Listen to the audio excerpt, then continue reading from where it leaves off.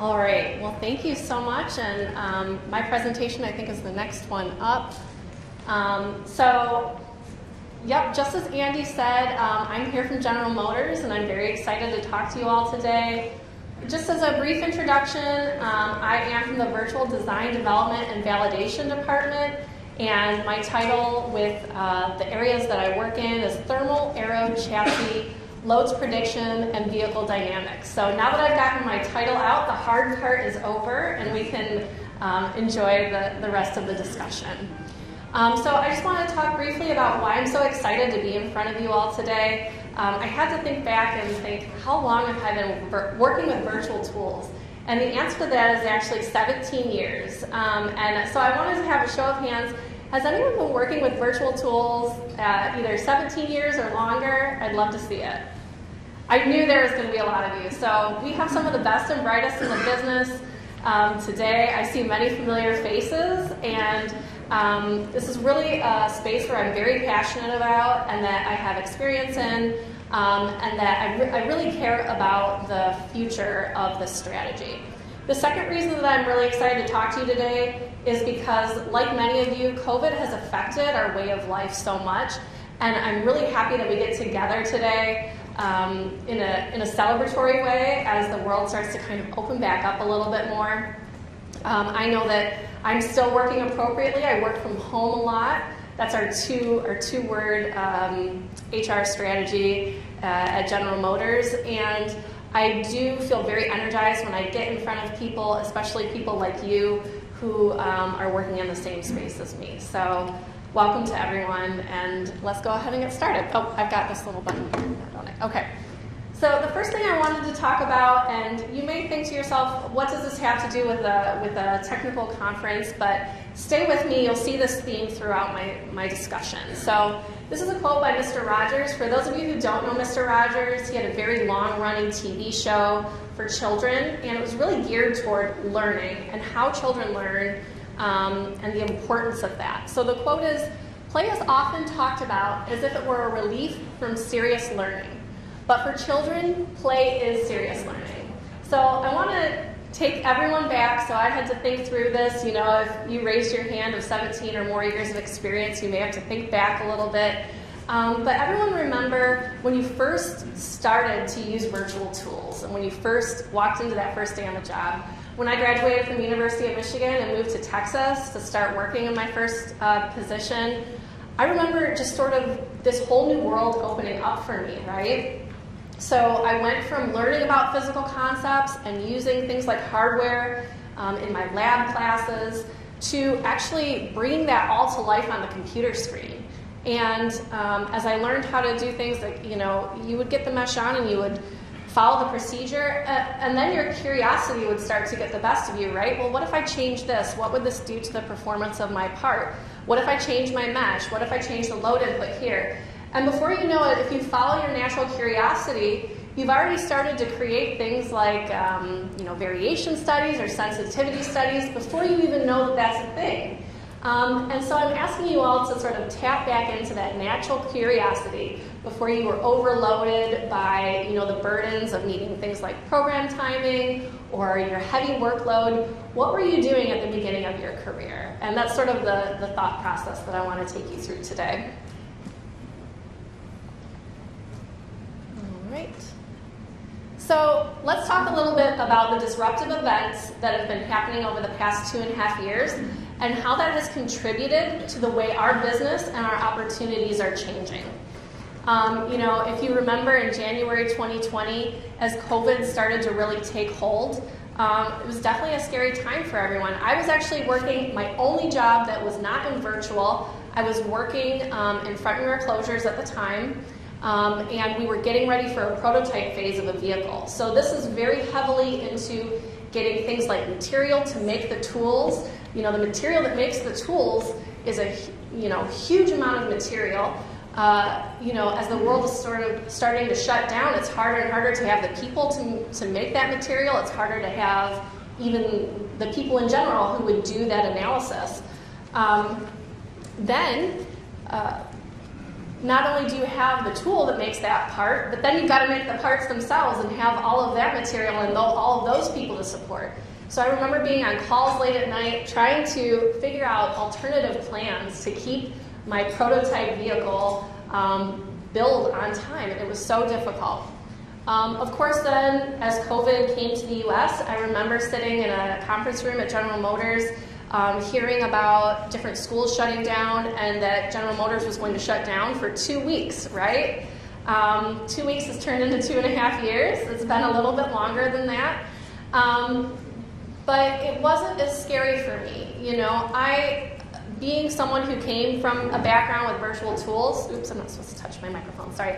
Um, being someone who came from virtual tools, it was actually a moment that we were ready for, right? We knew how to do this. We've been preparing for this, and we've been waiting for our opportunity to really prove ourselves and take it to the next level. Um, of course, the great resignation, there's a changing workforce happening. Um, my team personally has grown by over 20% in the past two years. That means that there's new engineers coming on. We need ways to um, you know, transfer our knowledge. We need our tools to be intuitive and easy to learn. Um, I found that the, the people who are graduating college and coming to our teams are ready for that information. And um, they have that mindset where they're, they're doing the hard work that is learning, but it's also very fun for them, just like the quote in the beginning. And I'm so inspired by that and um, want to continue to see our tools match that energy. Um, of course, then another unprecedented event, um, the war in Ukraine, which um, really emotionally touched many of our colleagues, but even um, also in addition to that, of course, new supply chain challenges too, right? So this is once again challenging the auto industry when we have the microchip shortage. How are we going to um, combat that and make sure that we're delivering quality products to our customers? Um, now, here we are today. We are continuing to have material shortages. It's not just on the shelves at the grocery stores. It is, of course, with our own vehicles. Um, and it's becoming more and more apparent that these events have put us in a position where we are very passionate and very inspired to affect our products in a way that we've been training to do. Um, the lack of material makes it harder for us to create these prototype vehicles. If we have to choose between making a prototype vehicle and a vehicle that we can give to our customers, we want to put that energy into a vehicle that we can give to our customers. And if we don't always have the ability to work in person with that hardware, we need to be able to work at home or in the office with our virtual tools. But like I said, right now, our team has consistently delivered um, through working appropriately to all of these challenges. I am so proud of everything that we've accomplished over the past two and a half years. Um, and it, it, truly is inspiring to me. Um, one, one more uh, quick story about, about COVID and how it changed me just from a personal standpoint.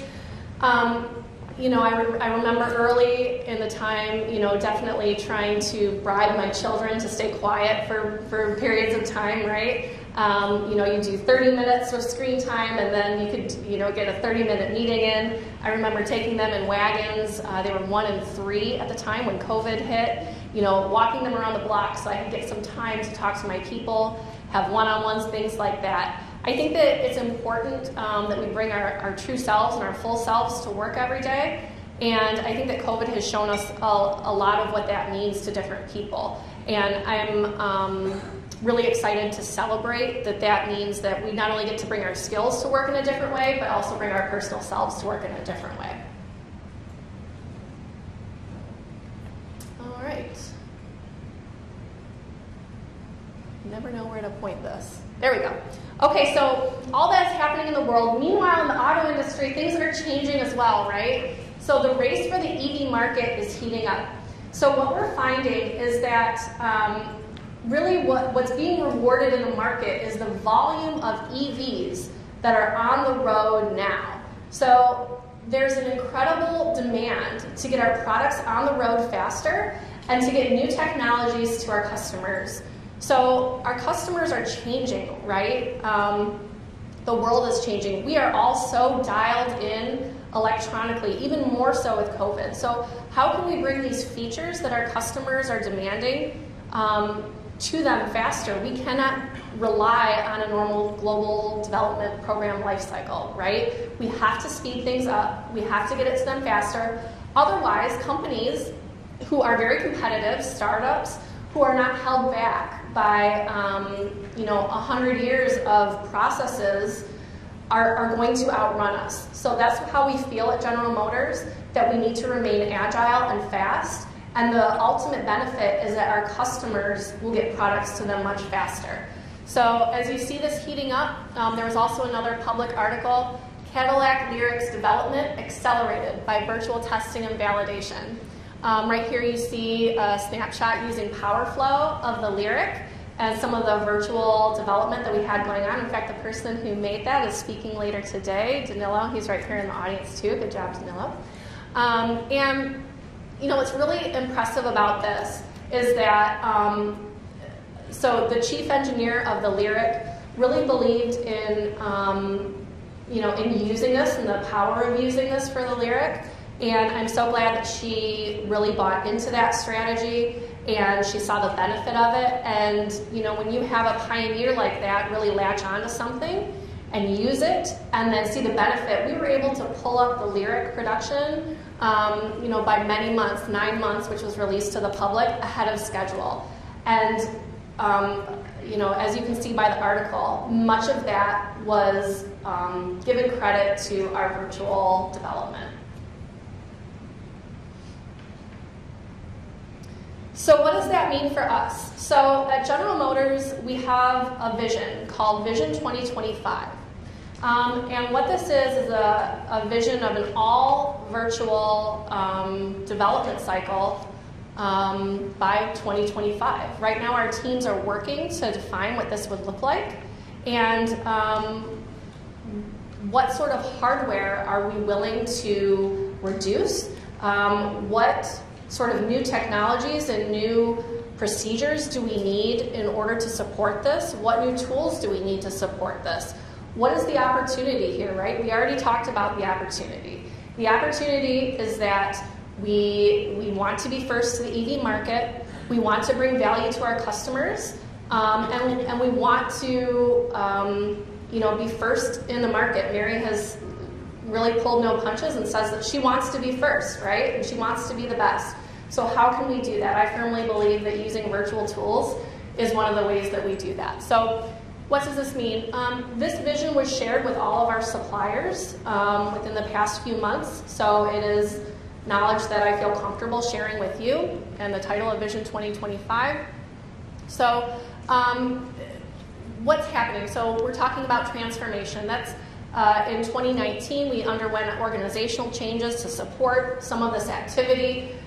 COVID accelerated that again by actually removing some of those things that we were holding on to based on our previous ways of doing things. It forced us to change and it forced us to move forward. We want to keep that momentum. We don't, as the world opens back up, we don't want to go back to our old way of doing things. Just like any great engineer, we want to learn from those and we want to continue on forward and make it even better, right? So um, now we can reduce tests, we can reduce hardware, and we can make sure that that first vehicle that we produce is no longer a prototype, but rather something that we can sell to our customers. Um, and this is not just within the VDDV team. This is a, a company-wide initiative that everyone is in. You know, we, we can't do it alone as one organization. We need everyone to be thinking this way and see the same opportunities that we do.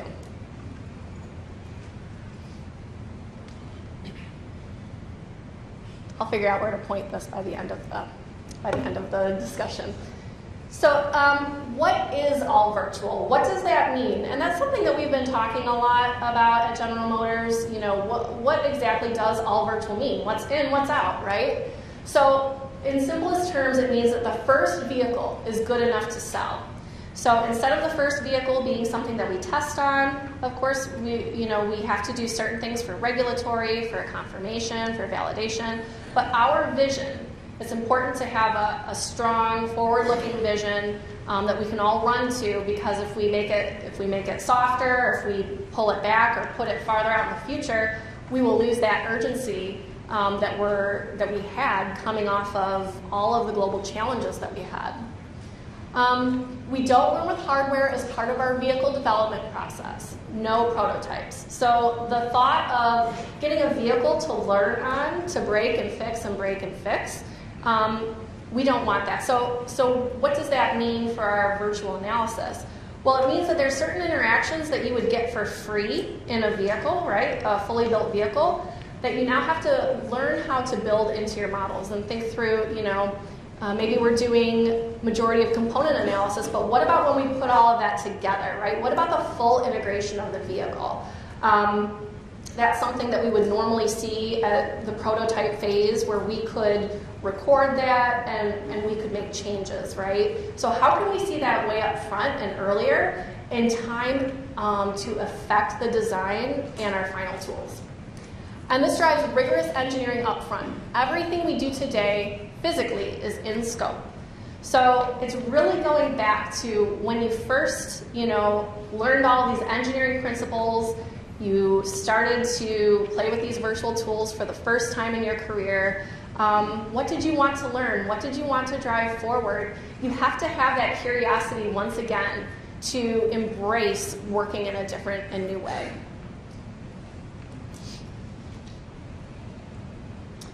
Okay, so what is holding us back? COVID clearly showed us the power of fast innovations. You know, I was really inspired during the early days of COVID watching, um, you know, GM and fellow automakers and all sorts of other industries really contributing to the COVID cause.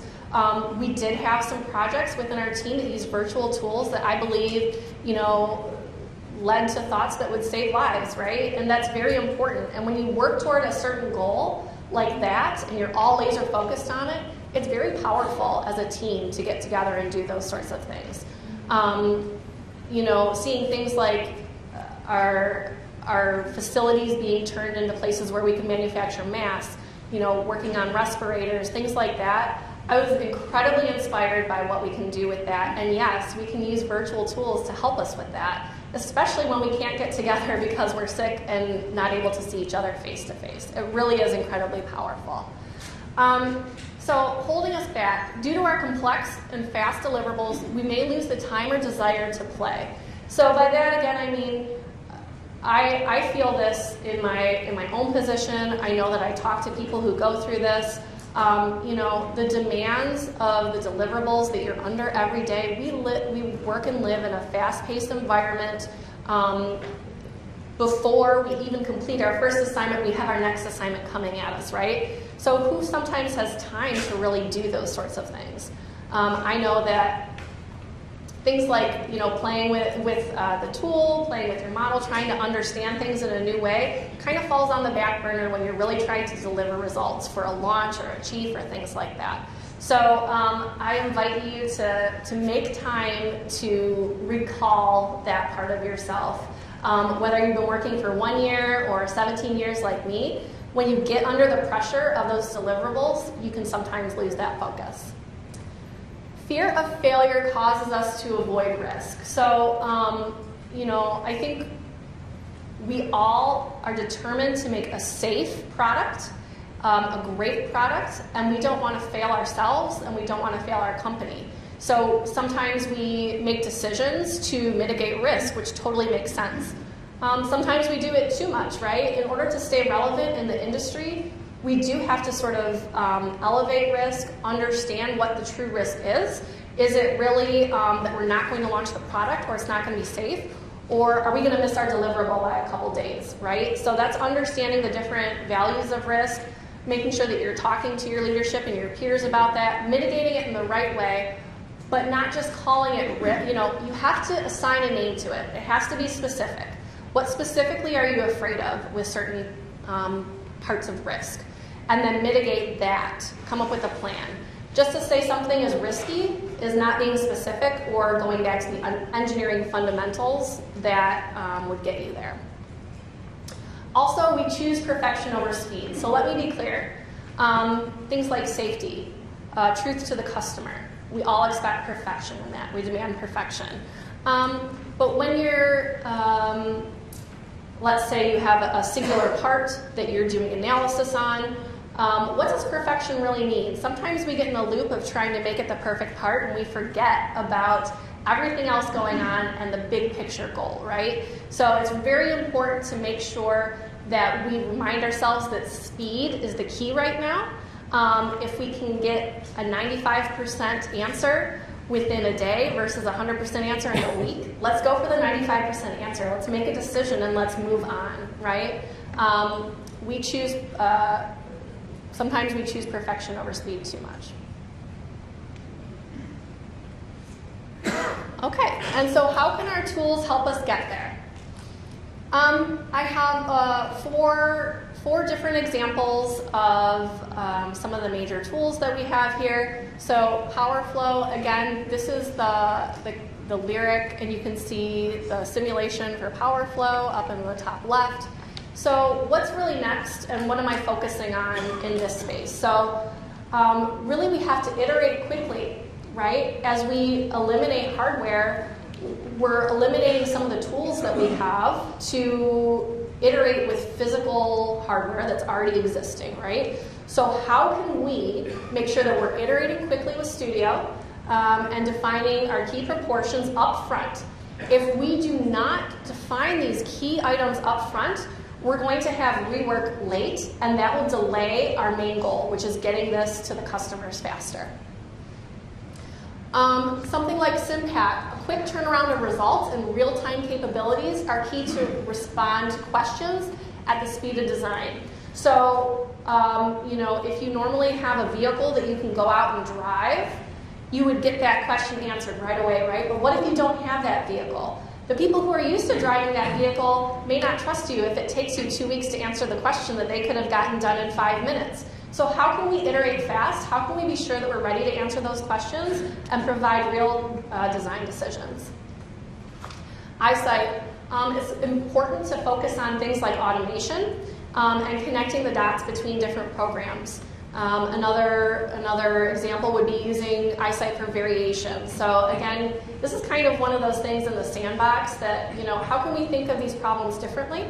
How can we go through them um, and make sure that we have the right tools to connect those dots? And finally, something like Abaqus, um, really a bigger focus on the system interactions rather than, than the component analysis. So how are these systems interacting together? Um, again, we would have found in the prototype phase some of these interactions for free. Um, now we have to model these. We have to understand them up front, and we have to be sure that we're putting them up front with robust engineering practices in the design.